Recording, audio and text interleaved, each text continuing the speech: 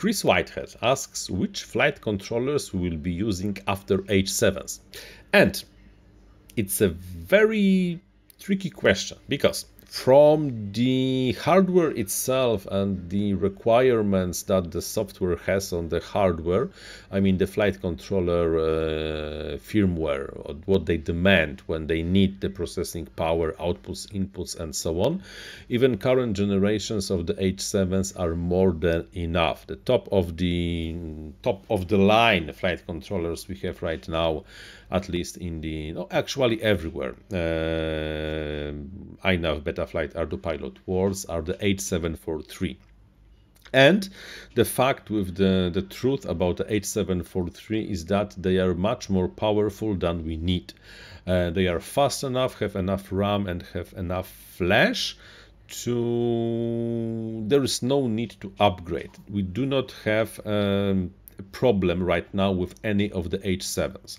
Um, if the software development will progress like it's progressing right now, we most probably will not be able to utilize everything that H743 offers for years because there is just no need. We do not have to run the PID loop even faster uh, what we have is more or less enough. And uh, the H743 is idling for so long that we can no problem put new functions over there compute the Fourier transformations whenever we want and have a lot of fun with processing the data. But we don't have to process the data.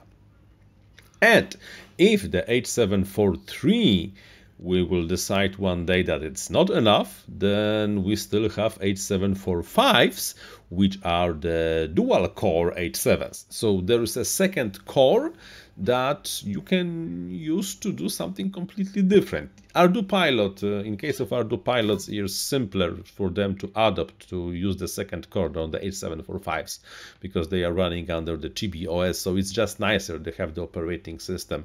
In case for the Betaflight and iNav, we don't have the operating system layer. It's more like uh, low-level hardware. So for us, utilizing the second core would be a problem, and so on and so on and so on. But if the H743 will be not enough, we can always go H745 don't let's not talk about H750 that are downgraded versions of those things. However, the real question is do we need H7s right now? And the answer is that no.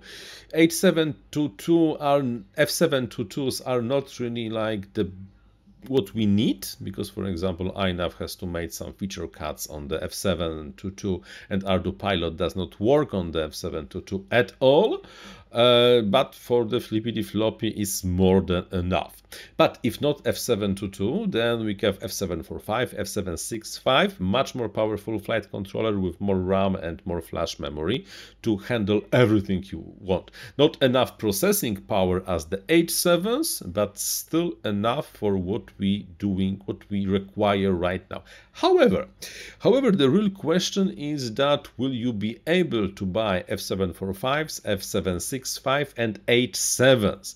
Because with the currently running chip shortage, the biggest problem is for the manufacturers, for the designers, it's to buy the STM32 microprocessors because it's super hard to get the stuff you want to put on your flight controller. Everybody's struggling with the sourcing of the flight controllers.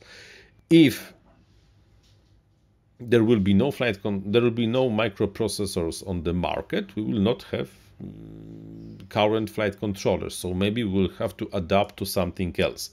Uh, maybe even we will go back to F3s because uh, you cannot buy F4s who knows? Who knows what might happen? We just remove a lot of stuff and go back to the basics. Maybe G4s, uh, Betaflight is, for example, Betaflight 4.3 has the um, uh, support for the G4s, but this is somehow not really happening. Not, not nobody really saw any of the G4s. I think Keys has the G4, but besides that, nobody uses that. So it's not really what we need, what we want. It's because the current options are, in my opinions, are enough of everything for the next few years. It's the question of will we be able to get those microcontrollers and use them if STM32 will be making them or not. And you will be able to buy them because if not, then we will look for the alternatives.